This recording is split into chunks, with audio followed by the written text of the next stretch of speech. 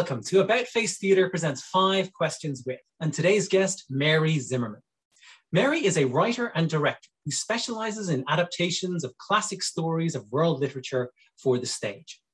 Her many acclaimed works include her Tony, Obie, and Drama Desk award-winning version of Metamorphoses, as well as Journey to the West, The Arabian Nights, The Odyssey, The Notebooks of Leonardo da Vinci, and The Jungle Book, among others.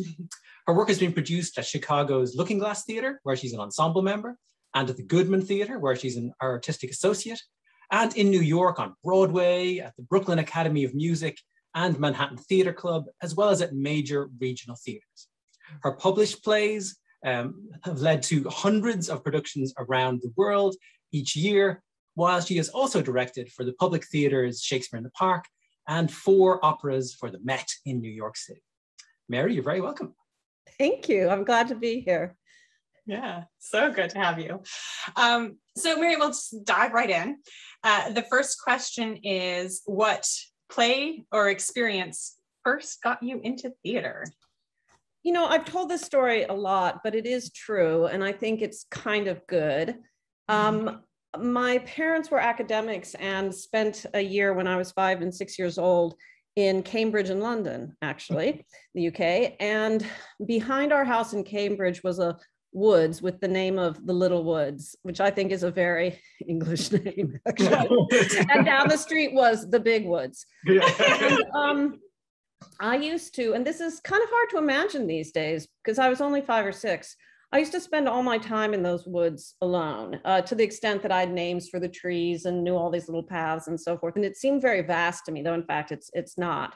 And what I mm-hmm. didn't know was that every year in the summer, or I'm not exactly sure, but there was a production of Midsummer Night's Dream in a clearing in those mm-hmm. woods. And I actually did come across rehearsal. And it was Ill Met by Moonlight, Proud Titania was the scene. And Oberon and, and Titania were arguing. And then Oberon took off. This is, you know, was a rehearsal. They were in everyday clothes. Hmm. Uh, it was in the daytime, took off and ran in all these circles with his fairy retinue. And after a few circles, like three, he started laughing really hard, the actor. And he said, How, how many, how many times do we go? and everyone started laughing and laughing. And it all just sort of came to a halt. They found that so hilarious. And that is definitely my primal scene of theater. And it wasn't in the least that I thought they were real fairies or anything like that. Mm-hmm. It was, in fact, the fact that they were not real fairies, but that they were adults playing in that way which I'd mm. never seen in my life. And then their laughter and the fun they were having, and the kind of doubleness of it all, and the seriousness of it all, and yet the hilarity of it all. Mm-hmm. And um, family lore, I mean, I actually have this story is backed up. I, I went and got my sister apparently, and we came to watch it. And believe it or not, the director chased us off, which I find kind of um, unbelievable. And then we did go see the production eventually at night, but I think I fell asleep. You know, I didn't. All I remember from the production was the the donkey's head. You know, that's kind of all I really remember, and it being nighttime. But my mother took me to all kinds of things. She did also take me to a Christmas pageant with. Um, it was Cinderella with the ugly sisters played by men. And um, I remember that one of them went to the ball in a dress that lit up with Christmas lights. and that was very striking to me as well. So that was that was very very young. My mom really loved the theater and all the arts. Though I hmm. grew up in Nebraska, Lincoln, Nebraska, you know, I had this kind of extraordinary experience of of being in the UK for a couple of years too. Yeah yeah. I love it. Magical. Okay so so mary an early influence is this magical production of um, uh, midnight midsummer night's dream in in the forest itself. Um but um but what's what's a great play that you love and why? Um, the first one that comes to mind, and I'm not even sure it's like the greatest play ever written, but the Shakespeare play that I know, I, first of all, I love Midsummer, um, but the Shakespeare play that I I uh, know the best, honestly, is Measure for Measure. I've been mm-hmm. in it and I've directed it. and it's the one I've seen the most. And I, I don't necessarily know that it's a, a great play, but it certainly has great scenes mm. and great lines hmm. and some great roles and a great forgiving nature. Mm. But I don't know if I, I, and, you know, I have a, this is the great play. Mm. You know, there's so there's so many, and there's so many different forms of theaters too. Things that hmm. maybe aren't exactly plays so much, but that are theatrical events mm. that have been so striking. Um, I had a very big experience. I actually saw Peter Brook's Mahabharata at the Bouffes du Nord again at a young age, you know, as a teenager, maybe early 20s. And that kind of epic scale, the fact that it takes um, the, the fantastical elements, the spiritual elements of it, the bare bones staging using imagination all of that was super super influential on me i'm sure in ways i didn't even realize just the act of adaptation itself of a great classic world text you know mm. so i might say that trilogy is great but i you know i feel i feel a little hesitant because i guess i guess if i name a great one it's implying that others are less great and you know by the way it's all in the production right you can see a phenomenal production of an okay play and not mm-hmm. experience it as an okay play. It was a mm-hmm. phenomenal evening.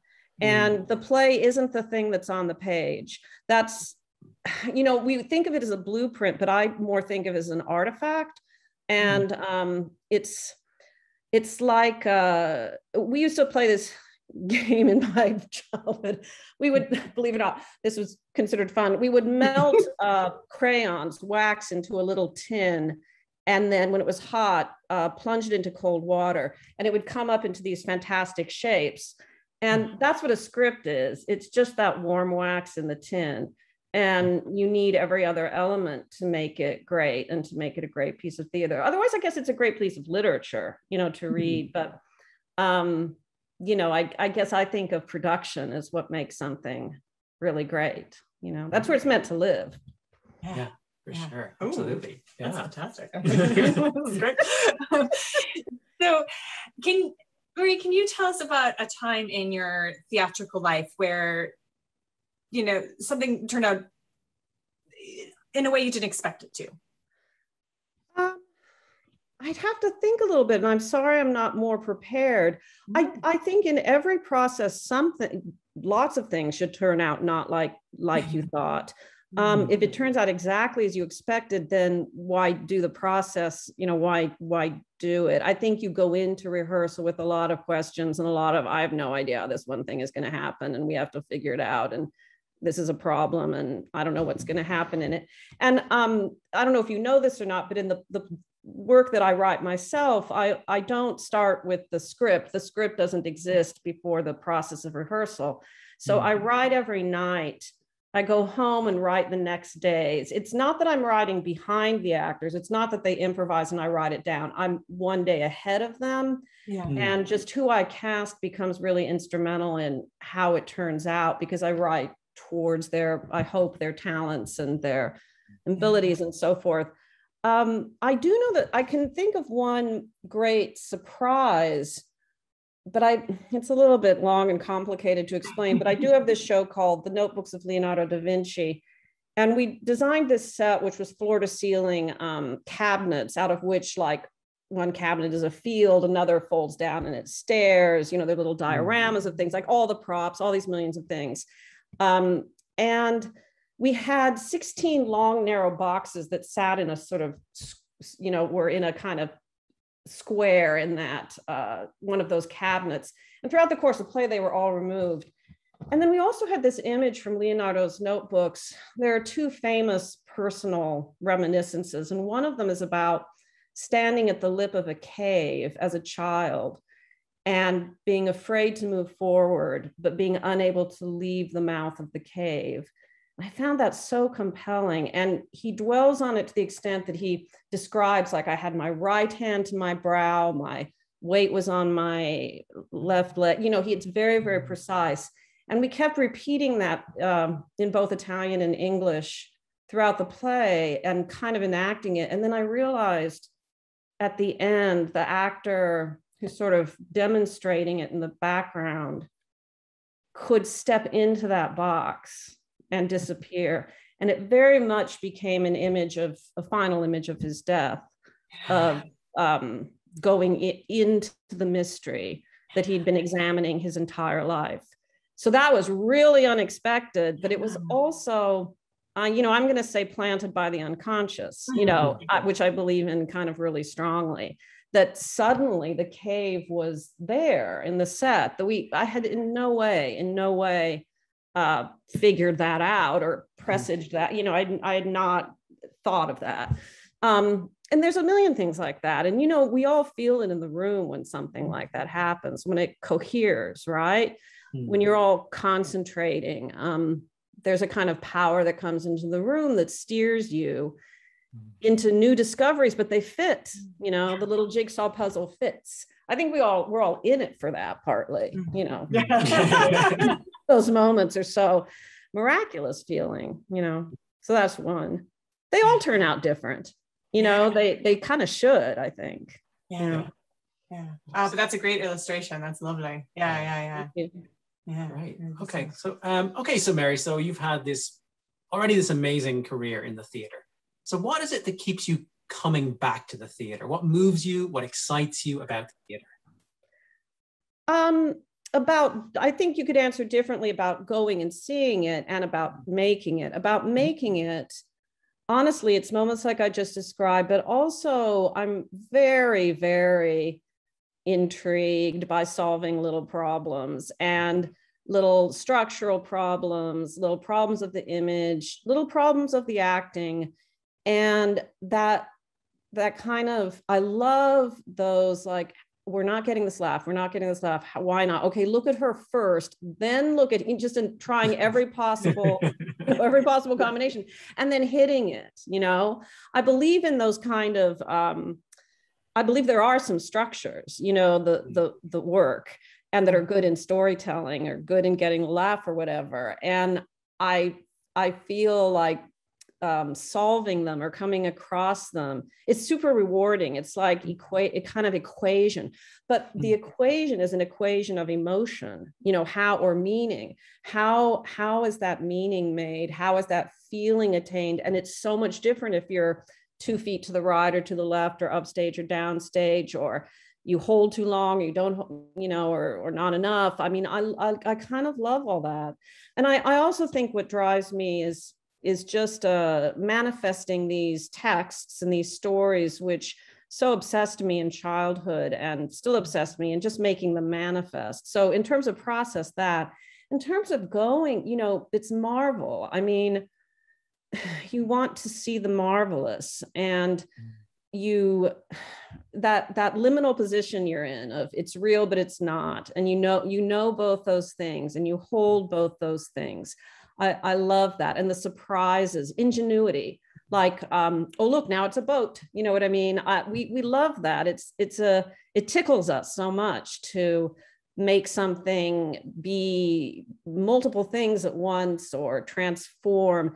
And even in the most realistic play, that's happening on the level of the performer. Even in the most mm-hmm. naturalistic play, there's that double doubleness because we know that person is not Hamlet or Lear or whoever.